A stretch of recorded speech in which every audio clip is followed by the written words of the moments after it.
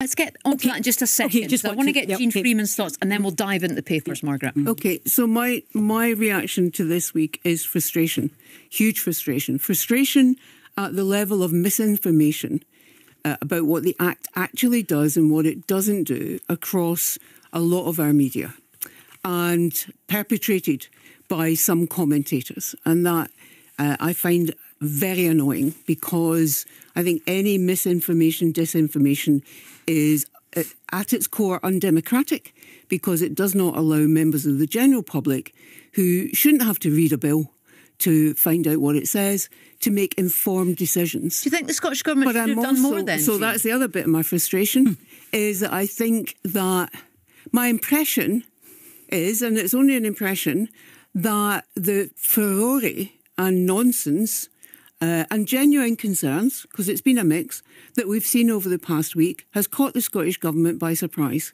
And I really do not think it is beyond the wit to plan for and prepare that this particular piece of legislation, coming at this particular point in the electoral cycle, will be used if you leave loopholes in it and don't set out clearly what it does and what it doesn't do by those who oppose your political stance overall as a government. And one of those areas is, as Margaret said, misogyny. So uh, I should said, that have been included? I said at the time I thought it should be included.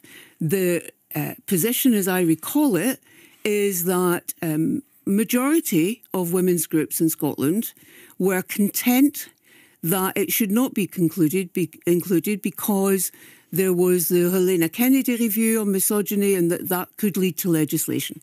Uh, I understand that, and I think it was a very good review and she did an excellent job.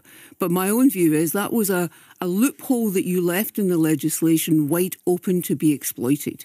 That's about political nous, frankly.